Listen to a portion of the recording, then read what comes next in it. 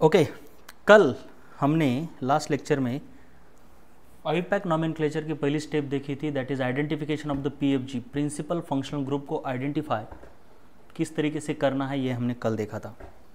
अब हमको second step देखनी है आयुपैक नॉमेनक्लेचर में that is selection of the parent chain parent chain को किस तरीके से सेलेक्ट किया जाता है ये बहुत इंपॉर्टेंट है।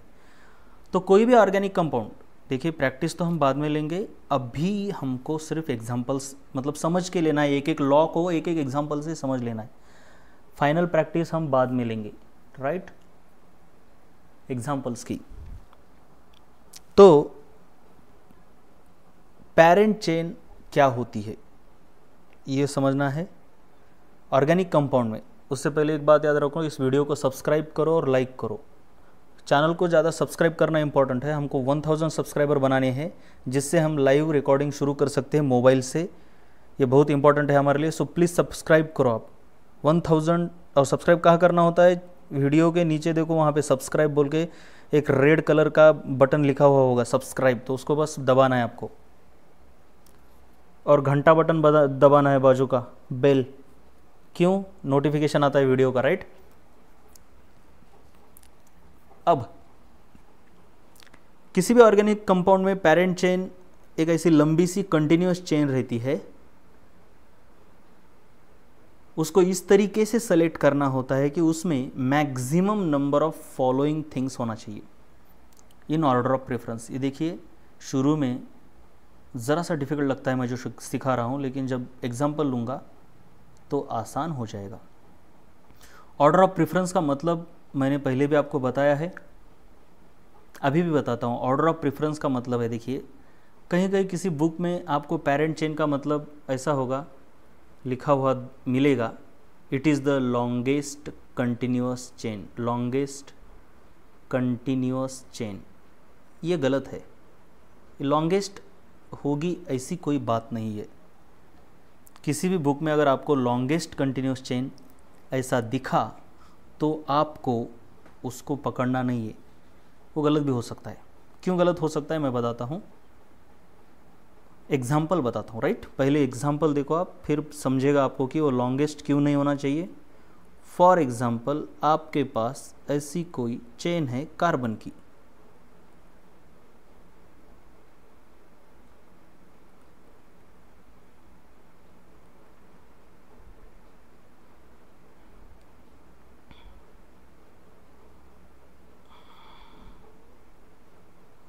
और मान लो मान लो कि उसमें फंक्शनल ग्रुप है ओ एच राइट अब लॉन्गेस्ट कंटिन्यूस चेन अगर देखी जाए तो यहाँ पे ये आ जाती है। इसका मतलब ये पेरेंट चेन हुई, लेकिन ये गलत है। ऐसा नहीं होता।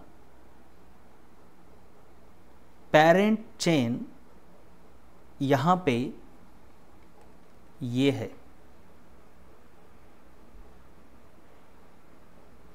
भले ही ये सबसे लंबी नहीं है। क्यों? क्योंकि इसमें एक, दो, तीन, चार, पाँच छः सात कार्बन है, जबकि पहली वाली में one, two, three, four, five, six, seven, eight, nine, ten carbon थे, लेकिन फिर भी ये है पेरेंट चेन। क्यों? क्योंकि parent chain longest continuous chain नहीं रहती। पेरेंट चेन वो कंटिन्यूस चेन रहती देखिए कंटिन्यूस रहती है, लेकिन लॉन्गेस्ट रहती है ऐसी कोई बात नहीं, हो भी सकती है। कंटिन्यूस क्यों बोला? क्योंकि चेन ऐसी नहीं हो सकती। मतलब यहाँ से शुरू करोगे, बीच से ही, और यहाँ पे ख़त्म कर दोगे, फिर यहाँ से शुरू करोगे, इधर ख़त्म करोगे, ऐसी नहीं होती। कंटिन्यूस होनी चाहिए मतलब एक बार शुरू कर दिए तो कंटिन्यू ऐसे। ले उसमें भी एक एंड से शुरू करना होता है। मतलब ऐसे बीच से शुरू नहीं कर सकते, एक तो इस एंड से शुरू करोगे और वो कंटिन्यू रहेगी। दूसरे एंड तक ही जाएगी, कोई भी एंड हो। इस एंड से शुरू करो। इस एंड तक जा सकते हो। तो बाद में देखेंगे वो है कि नहीं सही, लेकिन फिर भी मैं बोल रहा हूँ कि एक किसी भी टर्मिनल से एंड से, किसी भी मतलब ये एक आपका मेन रास्ता है, ऐसा समझिए। और ये भी एक रास्ता है, ये भी एक रास्ता है। तो इस रास्ते का एंड यहाँ पर है। तो इस एंड से किसी भी एंड तक जाओ। ऐसे एंड से लेकर एंड तक जाना है, वो भी कंटिन्यूसली बीच में रुकना नहीं इसलिए बोला गया है कि parent chain is such continuous chain जिसके अंदर ज़्यादा से ज़्यादा चीज़ें होनी चाहिए।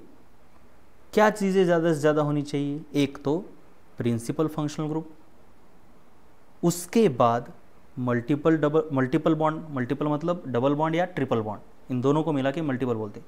उसके बाद उसमें डबल बॉन्ड सबसे ज़्यादा होनी चाहिए। उसके बाद कार्बन एटम सबसे ज़्यादा होनी चाहिए, यानी उसकी लेंथ सबसे ज़्यादा होनी चाहिए। मतलब लेंथ को चौथा स्थान दिया है। उससे ज़्यादा इंपॉर्टेंट कौन है? पीएफजी और उसके बाद उसके अंदर सब्सटीट्यूएंट सबसे ज़्यादा होने चाहिए। अब इसके बाद और भी है क्राइटेरिया लेकिन आपके सिलेबस के लिए बस इतने। अब इंपॉर्टेंट है कि ये ऑर्डर ऑफ़ प्रेफरेंस का मतलब क्या है? या फिर ऑर्डर ऑफ़ प्रेफरेंस का मतलब देख लीजिए अभी। आपको वैसी चेन सेलेक्ट करनी है जिसमें सबसे ज़्यादा पहली बार क्या देखना है? PFG okay. अब आपके पास इस एग्ज़ाम्पल में अलग अलग चेन है। मैं क्या करता हूँ? पहले आपको ऑर्डर ऑफ़ प्रेफरेंस का मतलब समझाता हूँ। अब यहाँ पे जो चेन थी जो भी थी, मैं अब अलग निकालूँगा। उसके अंदर अलग अलग चेन्स थी। मतलब सेलेक्ट करने के लिए आपके पास अलग अलग ऑप्शन थे। जैसे कि आप ये भी चेन सेलेक्ट कर सकते थे। जैसे कि आप ये भी चेन सेलेक्ट कर सकते थे। जैसे कि आप ये भी चेन सेलेक्ट कर सकते थे। या फिर ये भी चेन सेलेक्ट कर सकते हो। ऐसे अलग अलग चेन है आपके पास, और इनमें से कौन सी चेन आपको पेरेंट चेन सेलेक्ट करनी है? इसके लिए मैं उदाहरण देता हूँ आपको एक दूसरा। आपको एक बाइक खरीदनी है राइट अब बाइक के लिए आपके पास कोई तो भी प्रेफरेंसेस होंगे। आपके पास तीन ऑप्शन है। आप शोरूम में चले गए, आपके पास तीन ऑप्शन है। अब आपने कहा कि मुझे ऐसी बाइक चाहिए जिसका माइलेज ज़्यादा हो, जिसकी स्ट्रेंथ ज़्यादा हो, जिसका पिकअप पावर ज़्यादा हो, राइट?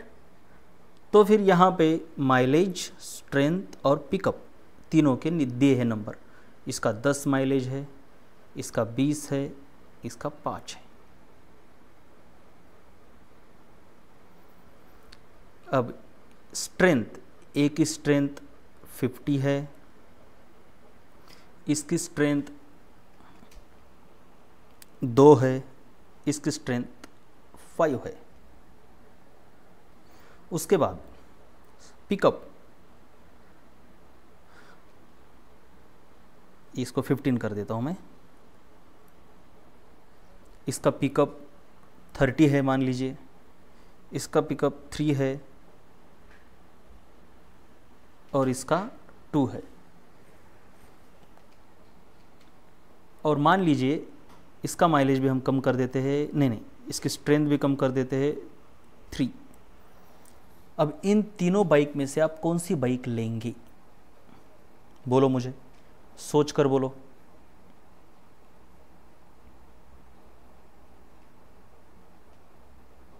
ऑफकोर्स कोई भी कहेगा बाइक ए लूँगा। क्योंकि उसमें सभी पैरामीटर अच्छे अच्छे हैं। बस इसका माइलेज बी से थोड़ा कम है, बाकी सभी पैरामीटर तो अच्छे हैं। तो ये हो गया आपका जनरल सिलेक्शन लेकिन आयुपैक नॉमिनक्लेचर में जो सिलेक्शन है, वो ऑर्डर ऑफ़ प्रिफरेंस पे चलता है। ऑर्डर ऑफ़ प्रिफरेंस इसका मतलब होता है, मैं बताते वक्त ऐसे बताता हूँ कि मुझे ऐसी बाइक चाहिए मुझे उसमें following things order of preference में चाहिए।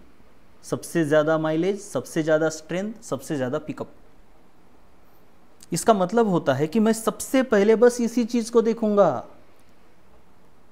दूसरी चीज़ को देखना ही नहीं है। मतलब मैं पहले जाके माइलेज देखूँगा, तीनों में से माइलेज इसका ज़्यादा है, मैं इसी को पिकअप इसी को ले लूँगा। उसके दूसरे पैरामीटर देखूँगा ही नहीं, इसको बोलते हैं ऑर्डर ऑफ़ प्रेफरेंस मतलब इसका प्रेफरेंस इतना ज़्यादा है कि दूसरों का उसके आगे कुछ भी नहीं है। अगर पहले प्रेफरेंस में कोई भी नहीं जीतता तो मैं दूसरे प्रेफरेंस को देखूँगा। तब तक नहीं देखूँगा दूसरे प्रेफरेंस को। तो दूसरे प्रेफरेंस को मैं कब देखूँगा? जब बी की माइलेज भी 10 हो। तो मैं पहले जाके देखूँगा तीनों में से माइलेज किसका ज़्यादा है। तो ए का भी माइलेज 10 है, इसका 10 है, इसका 5 है। ये तो हट गया, इसको छोड़ दो। अब इसका बाकी ये हज़ार रहने दो, ये 500 भी रहने दो, लेकिन इसको देखना ही नहीं, क्योंकि इसका पहले प्रेफरेंस में कैंसिल हो गया ये। मतलब जैसे कि मैच में रहता है ना, राइट? पहले राउंड में अगर आप हार गए, भले आप केनिया के साथ हार गए हो तो आप आउट हो। आप बाद में ये नहीं बोल सकते कि हम जो फाइनल में ऑस्ट्रेलिया गया है, उसके खिलाफ मैं 500 रन बना सकता था। कोई फ़ायदा नहीं। पहले राउंड में हार गए हार गए। बाद में आपको कॉम्पीट करने के लिए नहीं बोला जाएगा। तो ये सी तो गया कंपटीशन से बाहर। लेकिन ए और बी में कोई जीता नहीं। तो आप दूसरा पैरामीटर देखोगे स्ट्रेंथ इसमें कौन ज़्यादा है? ए ज़्यादा है। तो चलो ए बाइक को आपने सेलेक्ट कर लिया। अब इसके आगे पिकअप किसका है, ये नहीं देखेंगे आप। समझे ना आप? तो अब इस ऑर्डर ऑफ़ प्रेफरेंस से मुझे बताइए, अगर मैं ये नंबर हटा के अलग अलग नंबर डाल देता हूँ यहाँ पे तो कौन सी बाइक आप सेलेक्ट करेंगे?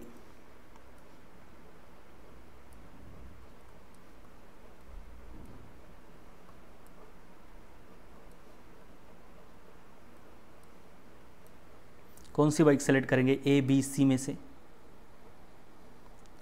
यस सी वाली बाइक सेलेक्ट करेंगे। भले ही इसके ये दो पैरामीटर बहुत ही गंदे हैं, लेकिन जो पहला पैरामीटर है ऑर्डर ऑफ़ प्रेफरेंस में माइलेज वो सबसे ज़्यादा है। उसमें वो जीत गया मतलब बाकी देखना ही नहीं है। चलो, अब ये भी बोलो मुझे।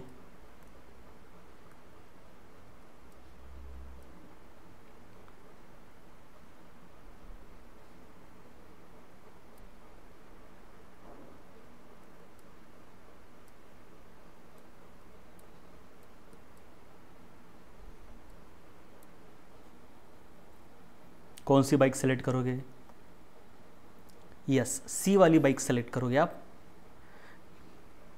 इसमें ये दोनों का टाई अप हो गया, ये तो हार गया, इसको छोड़ दो अब।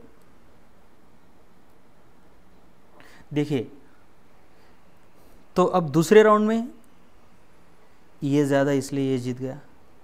लेकिन अगर ऐसा होता, मान लो, या ऐसा भी होता तो इस राउंड में ये हार गया। अब इन दोनों के बीच। ये तो पैरामीटर इसमें कोई जीत नहीं रहा तो ये पैरामीटर देखेंगे। अब इस पैरामीटर में ये ज़्यादा है, इसलिए इसको सेलेक्ट करेंगे क्या? नहीं। क्यों? क्योंकि ये पहले पैरामीटर में हार गया है तो अब ये कंपटीशन से बाहर, दूसरा पैरामीटर इसका कितना भी ज़्यादा हो, उसको देखना ही नहीं है। इन दोनों में ही देखना है। इन दोनों में ये ज़्यादा है अच्छा। इसीलिए इसको चुन लिया।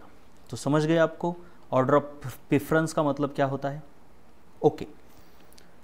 तो उस हिसाब से अब यहाँ पे एग्जांपल देखेंगे हम। तो सबसे पहले इंपॉर्टेंस देना है आपको पीएफजी को, उसके बाद मल्टीपल बॉन्ड डबल बॉन्ड फिर लेंथ को और फिर सब्सटीट्यूंट को। तो इसीलिए लेंथ को बहुत बाद में आता है। अब यहाँ पे देखोगे तो ये पीएफजी है और ये पीएफजी है। तो इस चेन में दो पीएफजी आ रहे हैं, एक दो। पीएफजी की संख्या ज़्यादा है, इसलिए आपकी ये पेरेंट चेन है। ना कि ये, जिसमें कि ये, एक भी पीएफजी ज़्यादा नहीं आ रहा। इसकी लेंथ सबसे ज़्यादा है, लेकिन लेंथ को इम्पोर्टेंस चौथे क्रमांक पर है। सबसे पहले पीएफजी देखना है। धीरे धीरे एग्ज़ाम्पल मैं लूँगा तो आपको समझ में आएगा। जैसे कि ए एग्ज़ाम्पल देखो। इसमें बॉन्डलाइन नोटेशन में इस चेन को सेलेक्ट किया है। इसकी नंबरिंग बाद में देखते हैं हम। अगर आप देखोगे कि उसको क्यों सेलेक्ट किया है एक्चुअली आपके पास, देखिए, आपके पास अलग अलग कौन सी चेन है ये देखना है आपको राइट ये वाली एक चेन ये नंबर्स को आप भूल जाओ इनको, इनका कोई काम नहीं है अभी, ठीक है? दूसरी ए वाली चेन और तीसरी ब्रांच ये है। अब इनमें से सबसे ज़्यादा इंपॉर्टेंस किसको आएगा? उसको आएगा जिसके पास पीएफजी सबसे ज़्यादा है। तो यहाँ पे एक, दो इस पोर्शन में देखोगे तो दो पी है। इसलिए हमने इसको तो सेलेक्ट कर लिया। अब हमारे सामने दो ऑप्शन है। एक तो नीचे आ सकते हैं या फिर आगे जा सकते हैं। पीएफजी तो हो गया। अब देखेंगे। इधर आगे जाएँगे तो पीएफजी है। नीचे जाएँगे तो भी एक पी एफ़ जी मतलब दोनों तरफ़ पी एफ़ जी और वो भी एक एक है। तो पी एफ़ जी के रूल से तो कोई जीता नहीं। तो पी एफ़ जी के बाद क्या देखना होता है? कि किसके पास ज़्यादा मल्टीपल बॉन्ड है? तो अगर इस चेन में देखोगे तो एक, दो मल्टीपल बॉन्ड है, जबकि इस चेन में देखोगे तो एक ही मल्टीपल बॉन्ड है, इसलिए हम आगे जाएँगे सिलेक्शन करके फाइनल तक। तो ये हो गए हमारी पूरी पेरेंट चेन अब पेरेंट चेन यहाँ से यहाँ तक सेलेक्ट करके यहाँ पे क्लोज नहीं करनी है, ऐसा नहीं होता। मैंने बोला ना पेरेंट चेन एक एंड से शुरू होके आखिरी एंड तक जानी चाहिए ऐसी। अब दूसरा एग्ज़ाम्पल देखते हैं, यहाँ पे। यहाँ पे भले ऑलरेडी सेलेक्ट करके रखा है, लेकिन मैं समझाता हूँ ना। हमारे पास कौन सी कितनी है? चेन्स एक, दो, तीन, चार। तो सबसे ज़्यादा इम्पोर्टेंस हम पहले किसको देंगे? जिसके पास पी एफ़ जी है। लेकिन इसके पास कोई फंक्शनल ग्रुप है ही नहीं। तो इस रूल को तो हम भूल जाएँगे। अब हम देखेंगे उसके बाद, क्या देखेंगे? मल्टीपल बॉन्ड किसके पास ज़्यादा है? तो मल्टीपल बॉन्ड ज़्यादा किसके पास है? इसके पास है। उसके बाद इसके भी पास है। तो हो गया हमारा ये सिलेक्शन इसके पास भी नहीं है, इसके पास भी नहीं। भले ही इसकी लेंथ बहुत ज़्यादा है, लेकिन इसमें मल्टीपल बॉन्ड नहीं है और इसमें है, इसलिए ये जीतती है। मैंने बोला ना पेरेंट चेन लॉन्गेस्ट होगी, इसकी कोई गारंटी नहीं होती। पहले P F G multiple bond double bond देखेंगे और फिर बाद में लेंथ अब तीसरा एग्ज़ाम्पल अब डबल बॉन्ड का हो गया. अब तीस, इसके ऊपर लेंगे हम लेंथ के ऊपर. यहाँ देखिए, आपके पास अलग अलग चेन ये भी है ये भी है ये भी है ये भी है और ये बीच वाली है, ठीक है? अब सबसे ज़्यादा इम्पोर्टेंस हम यहाँ पे पी तो है ही नहीं. ये ब्रोमीन है. लेकिन ये हेलोजन है हेलाइड है, मैंने बोला था। नाइट्रो हेलो ईथर्स यानी alkoxy nitro halo ethers nitro halo ethers इनको कभी भी पीएफजी या फिर सफिक्स फंक्शनल ग्रुप नहीं बोला जाता। इनको ऑलवेज सब्सटीट्यूएंट बोला जाता है। क्यों? क्योंकि इन तीनों को प्रीफिक्स में ही लिखा जाता है। ऐसा आयुपैक का रूल है राइट तो यहाँ पे ना कोई पीएफजी है। सबसे पहले हम क्या देखते हैं? पीएफजी राइट उसके बाद ना कहीं पर मल्टीपल बॉन्ड है, ना कहीं पर डबल बॉन्ड है तो हमको क्या देखनी होगी अभी? कार्बन आइटम की लेंथ यानी नंबर ऑफ़ कार्बन आइटम्स तो आप अगर यहाँ पे ये सिलेक्शन देखोगे तो इसी चेन में सबसे ज़्यादा कार्बन आइटम आ सकते हैं। अगर आप यहाँ से आगे जाएँगे तो देखिए कार्बन आइटम दो ही है, लेकिन नीचे कितने हैं? नीचे भी दो है। अरे, नीचे भी दो है, इधर भी दो है राइट ओके तो सबसे पहले अब देखते हैं हम कैसे कर सकते हैं। ये इन दोनों में से हम किसको लेंगे? इसको लेंगे राइट क्योंकि ये बड़ी है ना लेंथ ज़्यादा है। अब इसके बाद इधर नहीं जाएँगे क्योंकि लेंथ कम है। एक ही कार्बन है, इधर जाएँगे लेंथ ज़्यादा है। अब आगे जाएँगे या नीचे जाएँगे, ये डिसाइड करना है। अब लेंथ तो इधर भी दो ही कार्बन है, इधर भी दो ही कार्बन है। अब लेंथ के बाद क्या देखना है? नंबर ऑफ़ सब्सटीट्यूएंट्स तो आगे सब्सटीट्यूएंट सिर्फ़ दो है। सॉरी सब्सटीट्यूएंट नहीं है। सब्सटीट्यूएंट बिल्कुल नहीं है। इनको बोलते हैं सब्सटीट्यूएंट्स कार्बन चेन को छोड़ के जो इधर उधर ऐसे ब्रोमीन मिथाइल इथाइल ग्रुप लगे होते हैं, इनको सब्सटीट्यूएंट्स बोलते हैं। तो इधर एक सब्सटीट्यूएंट है, लेकिन इसके ऊपर सब्सटीट्यूएंट है ही नहीं। इसीलिए हमने इस चेन को सेलेक्ट किया। तो इस तरीके से ये पूरी हमारी chain end to end continuous हो गई। तो लेंथ ये सभी चीज़ों को देखना होता है, ठीक है? अब हम चौथा एग्ज़ाम्पल देखेंगे। अगर आप इसमें देखोगे तो आपके पास ये एक है ये एक है और इधर एक है। अब लेफ़्ट साइड को एक ही कार्बन है, लेकिन आपको पता चल गया होगा इधर पी एफ़ जे ये ओ OH ऐसे नहीं लिखते, ऐसे ओ OH लिखना चाहिए, क्योंकि जिसने बॉन्ड किया है, उसको इस कार्बन के पास लिखना चाहिए। तो इधर पी एफ़ जी इसलिए इसको तो सेलेक्ट कर दिया। अब आगे जाना है या नीचे आना है? यस नीचे आना है। क्यों? क्योंकि नीचे डबल बॉन्ड है। इधर भले ही सब्सटीट्यूएंट है, लेकिन नीचे डबल बॉन्ड है ना? इधर लिखा भी है, देखिए। पी एफ़ जी के बाद किसको इंपॉर्टेंस आता है? डबल बॉन्ड सब्सटीट्यूएंट को बाद में आता है। ये बात याद रखना। ये सब्सटीट्यूएंट होता है, ये कोई पीएफजी नहीं है no to numbering the chain आपका तीसरा स्टेप है। सिलेक्शन ऑफ़ पेरेंट चेन ये दूसरा स्टेप है। ये है आपका नंबरिंग लेकिन उससे पहले और मैं प्रैक्टिस लेता हूँ इसकी।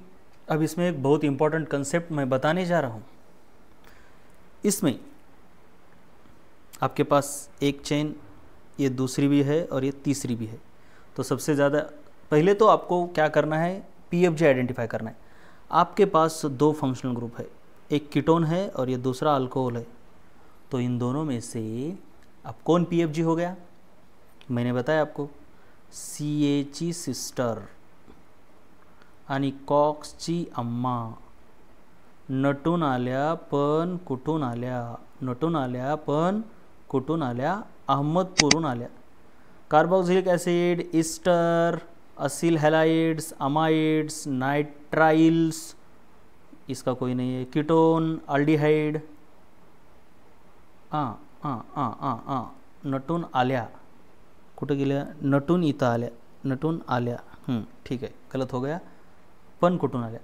Amides nitriles aldehyde, ketone, alcohol, और ये नीचे अमाइंस तो आप देखोगे अल्डिहाइड और ये अल्कोहल और ये कीटोन. तो कीटोन ऊपर है ना?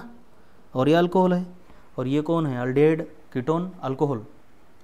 कीटोन और ये कौन है? अल्कोहल तो ये कीटोन ऊपर है इसलिए इसको इंपॉर्टेंस देना होगा तो ये आपका हो गया पी एफ़ जी अब याद रखना है, जब ये पी एफ़ जी हो जाता है तो दूसरे प्रकार के फंक्शनल ग्रुप उनका कोई महत्व नहीं रहता, ये सिंपली सब्सटीट्यूएंट बन जाते हैं। क्या बन जाते हैं ये? सब्सटीट्यूएंट तो आपको यहाँ पे एक नोट लिख लेनी है। क्या लिख लेनी है?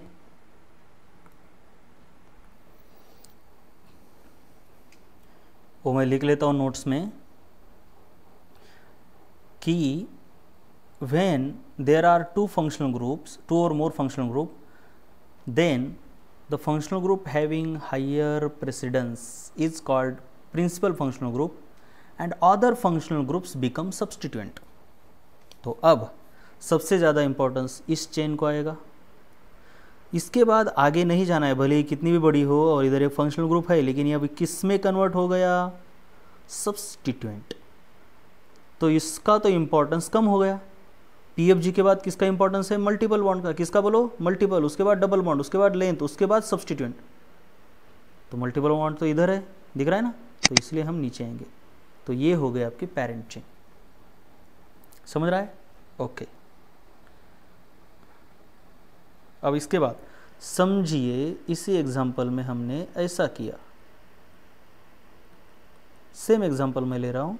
थोड़ा फ़र्क हो सकता है, थोड़ा फ़र्क हो सकता है, और यहाँ पे ओ OH की जगह मैंने ये लगाया। तो आप बोलेंगे, ये पी है तो ये सब्सटीट्यूएंट बन गया। नहीं, ये भी कीटोन है, ये भी कीटोन है, इसलिए ये भी पी ये भी पी तो चेन आपकी ये ऐसी जाएगी। क्योंकि ये दोनों सेम टाइप के हैं ना। तो पी इधर भी है, इधर भी है। तो मल्टीपल बॉन्ड को उतना इंपॉर्टेंस नहीं है जितना कि PFG को है। लेकिन अगले, ऊपर वाले एग्ज़ाम्पल में यहाँ ओ OH था, जो कि कीटोन से अलग फंक्शनल ग्रुप था तो वो सब्सटीट्यूंट में कन्वर्ट हो गया, इसलिए हमने इसको सब्सटीट्यूंट बोला। लेकिन एक बार जब ये पीएफजी बन जाता है तो कीटोन है, ये भी कीटोन है तो ये भी पीएफजी ही रहता है। तो इन दोनों को उतना ही इम्पोर्टेंस देना पड़ता है। चलो, एक, दो, तीन और चार, इन एग्जाम्पल्स को करो, लिख लो पहले, और select the appropriate parent chain आपका यहाँ पे क्वेश्चन क्या होगा? Select the parent chain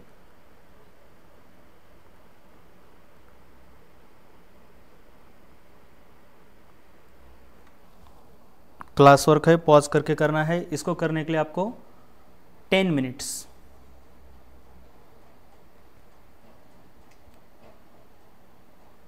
तो चलो अब आंसर्स अब मैं फटाफट बता देता हूँ, आपको आना चाहिए।